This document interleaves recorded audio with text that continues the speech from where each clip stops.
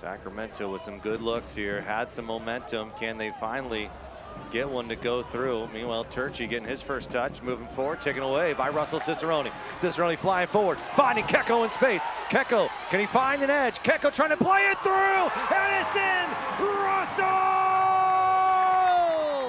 Russell Cicerone does it again here at Heart Health Park. He wins the ball back, slips it through to. Job's not done, continues to run. What a ball by Keko, puts in the back of the net. Game on here, and he's not done. I love the way he said, let's go back, let's go win this game.